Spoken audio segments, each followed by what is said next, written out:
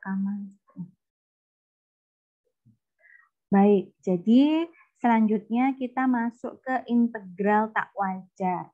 Jadi integral itu nggak hanya yang tentu sama tak tentu ya, ternyata ada juga nih kasus di mana integralnya jadi nggak wajar gitu ya. Semoga kita nggak jadi ikut nggak wajar ya setelah mengerjakan ini.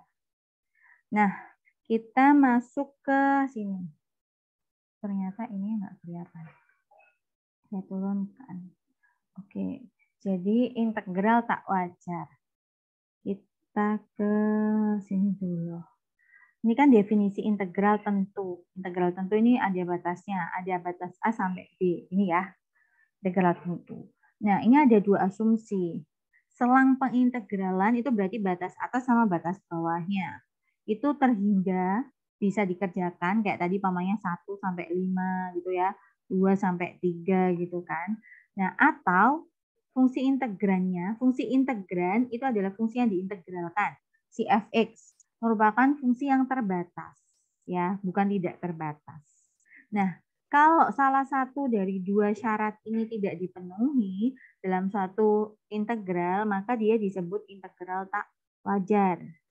Itu ya.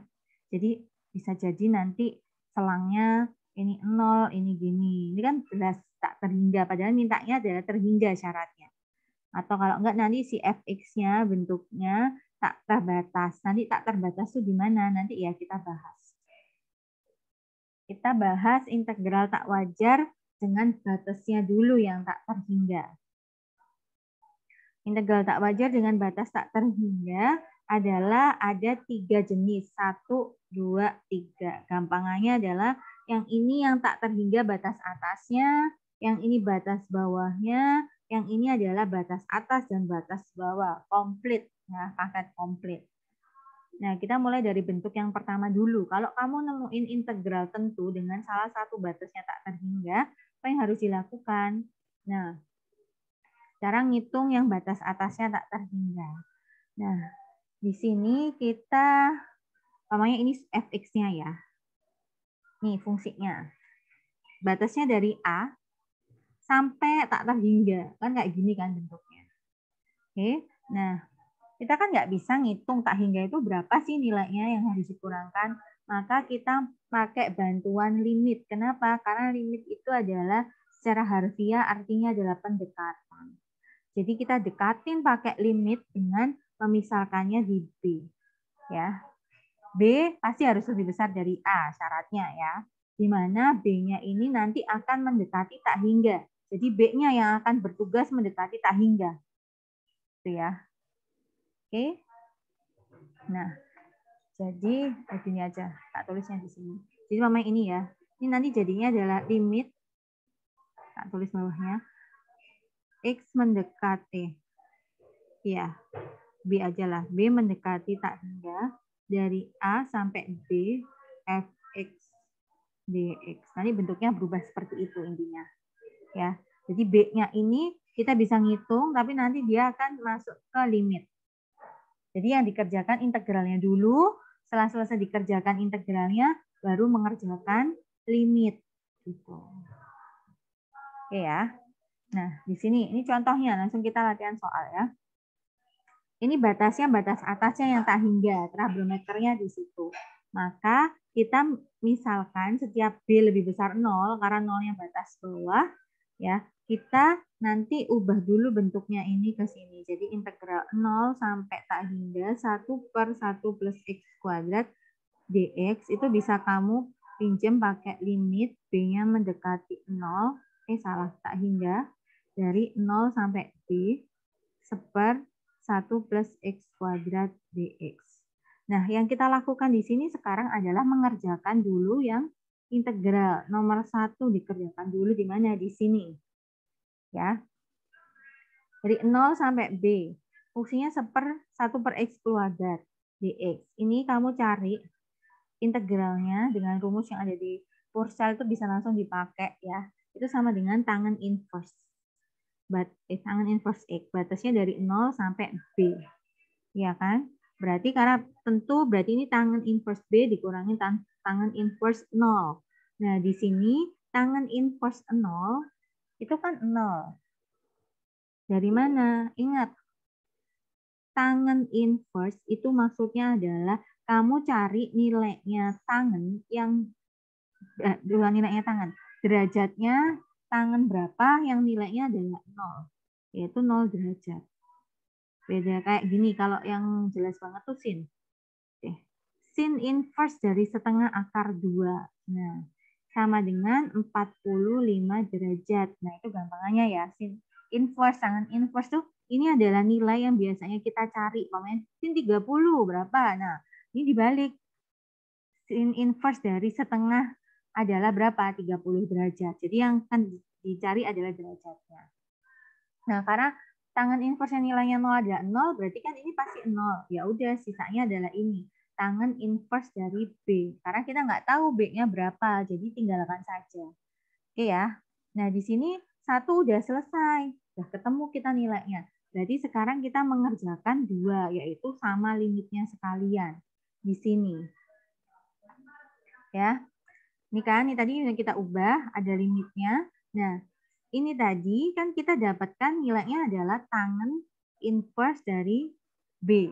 Ya kan, dari nomor satu.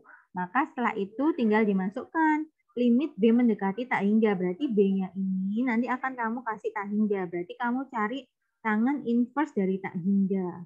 Kamu cari berapa sih derajat yang in, uh, tangannya hasilnya tak hingga, yaitu 90 derajat. Makanya di sini tulisnya adalah pi per 2. Gitu ya. Apakah di sini ya? Kita lanjut dulu ya. Gampang kan di sini ya? Jadi butuh bantuan limit. Makanya tadi kita sempat bahas limit dulu. Nah, yang kedua adalah ini yang kedua adalah ketika batas bawahnya yang tak wajar, yang minta hingga. Kalau bentuk grafik akan seperti ini, jadi di sini yang mendekati minta hingga, itu ya. Nah, sekarang karena dia berada di bawah, sebenarnya pemisalannya eh, abjadnya bebas sih, cuman biar kamu nggak bingung diganti A. A aja yang didekatin dengan limit, jadi A-nya mendekati minus tak hingga ya. Nah, di sini disebut ada catatan kalau limit ini ada. Kenapa? Kalau limit itu kan juga bisa limitnya bisa ada, bisa tidak ada.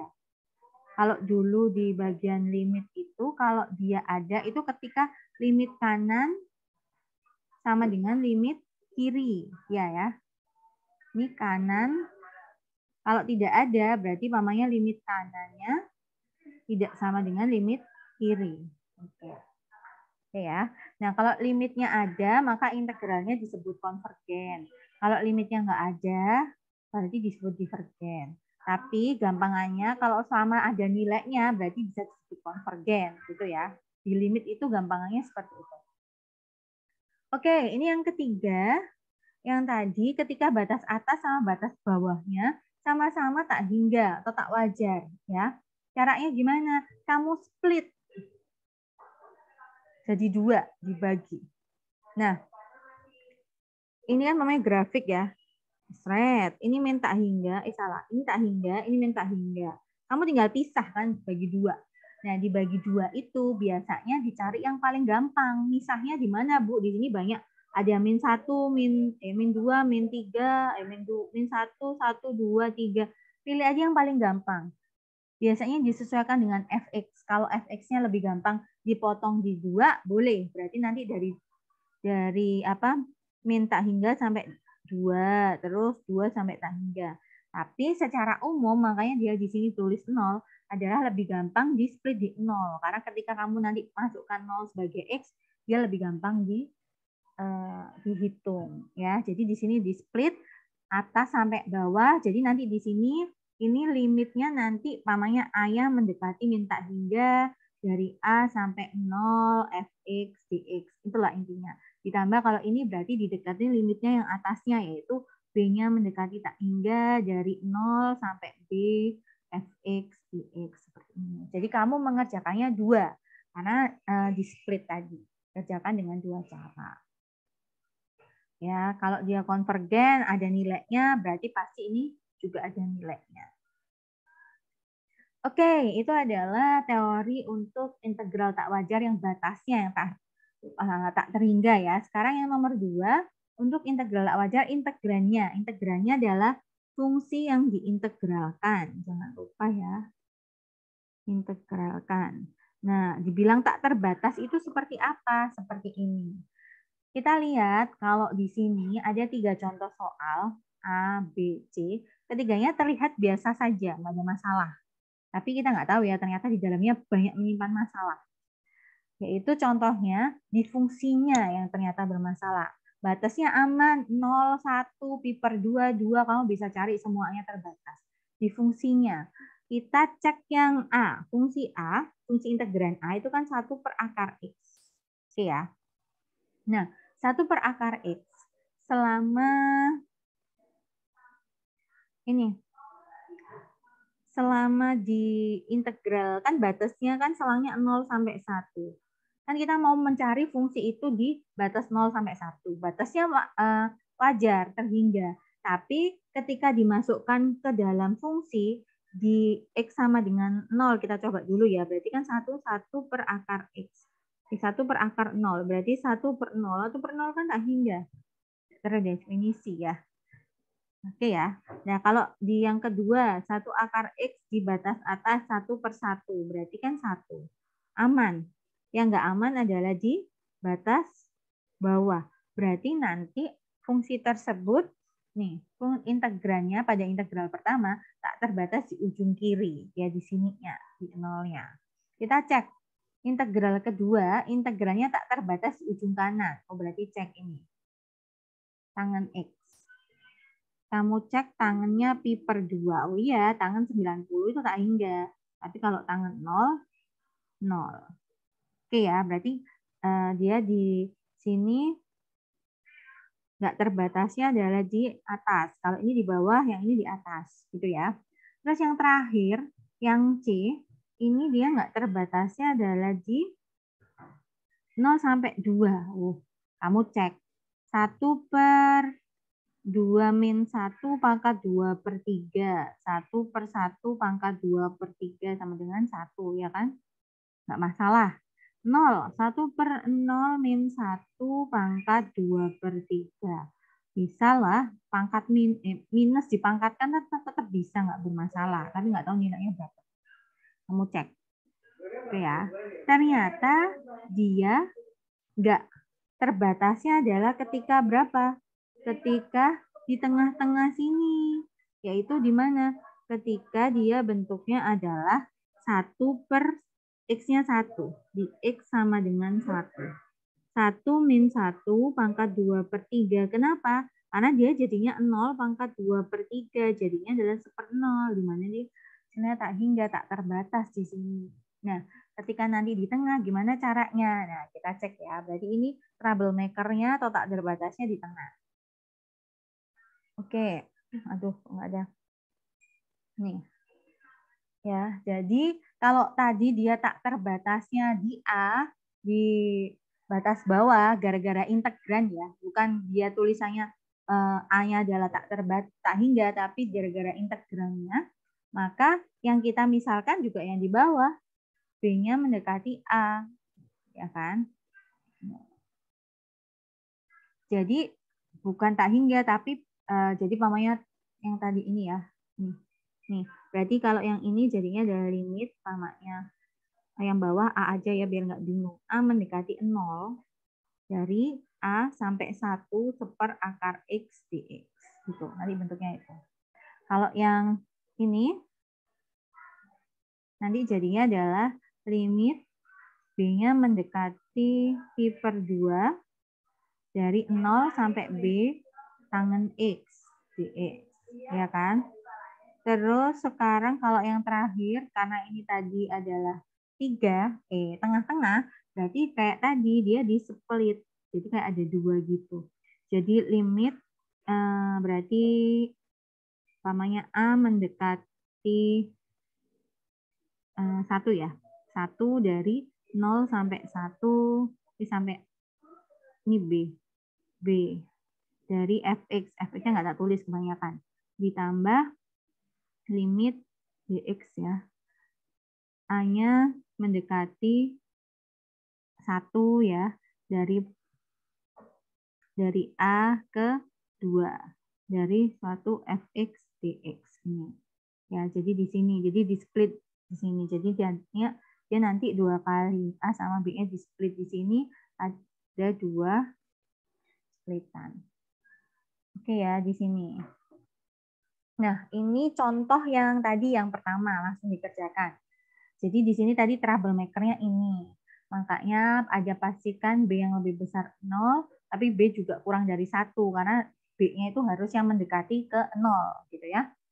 Nah, tadi kita tuliskan kan limit tadi A, kalau di sini dia B, nggak apa-apa ya. Jadi cuma uh, huruf aja.